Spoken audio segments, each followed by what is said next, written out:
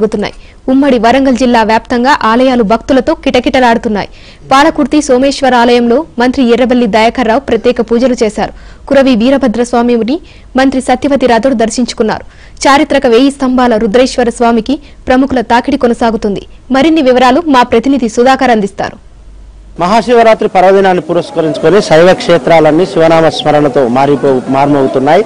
భక్తులందరూ కూడా శైవ క్షేత్రాలకు చేరుకొని దేవుని దర్శించుకుంటున్నారు ప్రత్యేకమైన మొక్కులు మొక్కుతున్నారు వారి కోరికలు చెల్లించుకుంటున్నారు. ప్రస్తుతం పరకాల శాసనసభ్యులు చెల్లధర్మారెడ్డి కుటుంబ సమేతంగా చారిత్రక వెయ్యి స్తంభాల ఆలయంలో శివుణ్ణి దర్శించుకున్నారు. ఆయన మనతో ఉన్నారు సార్. నమస్కారం సార్. మహాశివరాత్రి సందర్భంగా ఉమ్మడి వరంగల్ జిల్లా ప్రజలకి పరకాల నియోజకవర్గ ప్రజలకి ఏం చెప్తారు?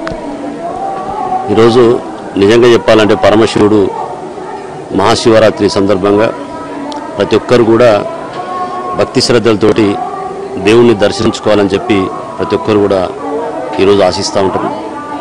దాదాపుగా అన్ని కుటుంబాల్లో ఈరోజు ఉపవాసాలు చేస్తూ దేవుణ్ణి ప్రార్థిస్తూ మరి దర్శనం చేసుకుంటూ మరి జాగారాలు చేస్తూ ఉంటారు.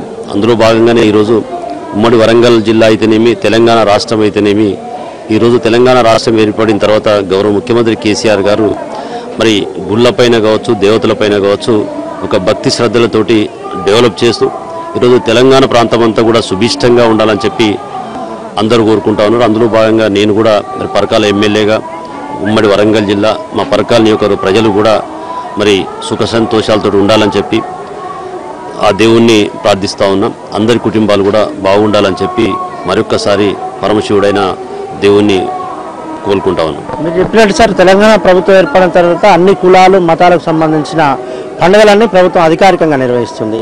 ఇలాంటి పండుగలు వచ్చినప్పుడు ప్రత్యేకంగా ఏర్పాట్లు చేస్తున్నారు. దీంతో భక్తుల తాకిడి దేవాలయాలకు పెరిగిందని చెప్పొచ్చా? భక్తులలో కొంత భక్తిభావం పెరుగుతుంది అనుకోవచ్చా? నిజంగా చెప్పాలంటే దినదినము భక్తి పెరుగుతూ ఉంది ప్రజల్లో. ప్రతి ఒక్కరు కూడా దేవుణ్ణి మొక్కుకోవాలి దర్శించుకోవాలి. మనం కూడా మంచిగా ఉండాలి ఇతరులకు సాయం చేయాలనే భావన తెలంగాణ వచ్చిన తర్వాత ఏర్పడ్డది.